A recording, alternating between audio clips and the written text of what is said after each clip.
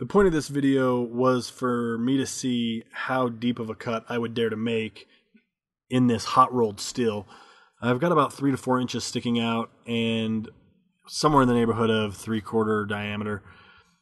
But I wasn't trying to be scientific about this at all. I really just was curious how gutsy I was because I wasn't really sure how hard I could push this carbide insert. I'm going to be making four cuts, uh, increasing by 10 thousandths per cut. This is the first cut, 10 thousandths. And the lathe is set up at 720 RPM with the feed knobs at 2C, which, if I understand the chart correctly, with the factory gear setup, I'm getting two and a half thousandths per revolution. I don't know what the thickness of the chip ends up being, and um, I really didn't care, so You'll see here I get up to 40 thousandths and I lose my nerve after that. So there's no 50 thousandths cut. A couple of things I want to point out. Uh, you'll notice that right away I'm getting uh, straw colored chips with some purple and blue. When I was making the cut, I was really only seeing silver chips pile up at the 10 thousandths. On the 20 thousandths, I was getting kind of a lighter straw color, darker straw at 30 thousandths.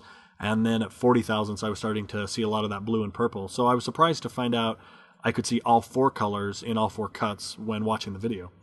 Something else I'd like to note is that when I was making the uh, 10 thousandths cut, I was getting a really awful rubbing sound, and it got better or less the closer to the chuck that I got. At 20 thousandths, there was maybe half as much um, of the uh, cutting distance gave me the same rubbing sound. At 30 thousandths, almost no rubbing, and at 40 thousandths, no rubbing. I think it must be true what people say that Carbide likes an aggressive cut because not only did the rubbing sounds go away the the deeper I got, but also the finish seemed to get a little bit better. The 40 thousandths finish is one of the best finishes I've got while cutting hot rolled steel so far. Uh, let's see. I also wanted to uh, note that the chips seem to get smaller or tighter which I'm not sure if that's a result of uh, the heat or just because it's a more aggressive cut. I think it has to do with just being an aggressive cut, folds the uh, the metal over on itself a little bit more. But they're also much shorter chips, and they are hot. I had one of these purple ones hit me in the forehead, and it was only there for a fraction of a second, but it it burned. So please, guys, if you're using a lathe, wear eye protection. I'm I'm wearing eye protection, and I'm glad that I was.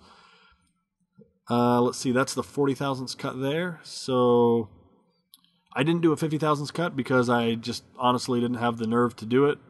And uh, I would do the 40 thousandths cutting again. I feel confident that that's pretty safe. So anyway, here are the chips, uh, mostly straw. You can see these thinner, uh, kind of silvery long ones, and you know the darker they get, the shorter they get as well. So anyway, that's pretty much it. Um, don't forget to like this video. Please subscribe to my channel and uh, more videos to come in the future.